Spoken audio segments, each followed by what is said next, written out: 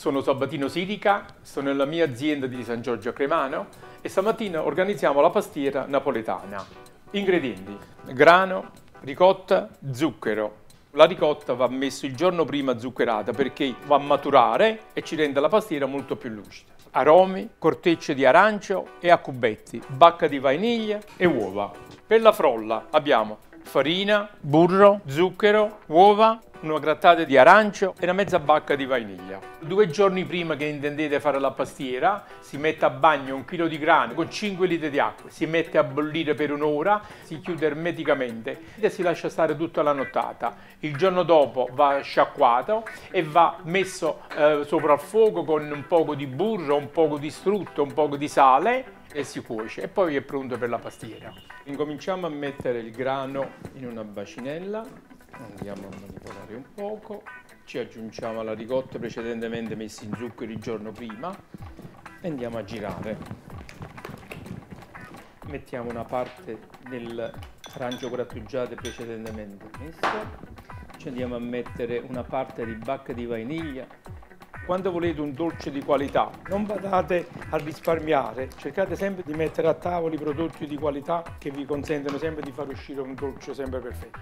Allora abbiamo messo gli aromi, adesso andiamo a mettere le uova, mettiamo solo i tuorli,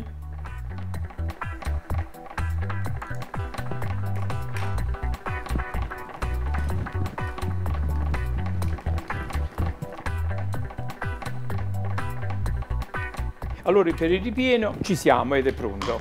Questa è la frolla per foderare la tortiera della pastiera. Abbiamo aggiunto il burro, aggiungiamo lo zucchero, aggiungiamo la grattugiata di arancia precedentemente fatta, mettiamo una parte sempre di bacca di vaniglia e incominciamo a impastare. Si mischia burro e zucchero, abbiamo messo la farina a fontana. Per fare la frolla abbiamo usato la farina rossa di Caputo, che ci mette in condizione di fare uscire sempre di prodotti di qualità.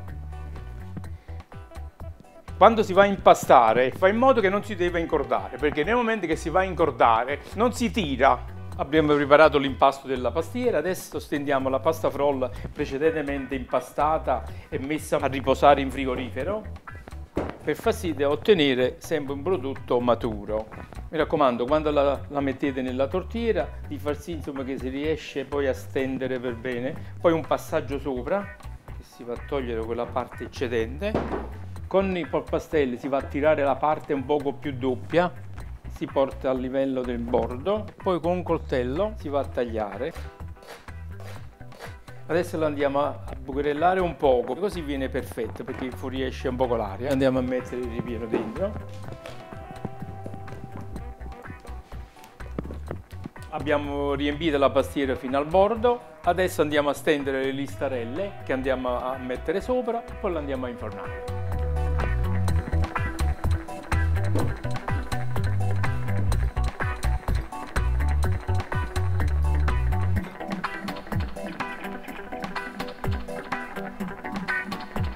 Questa pastiera piccola ha bisogno dai 40-45 minuti a 180 gradi.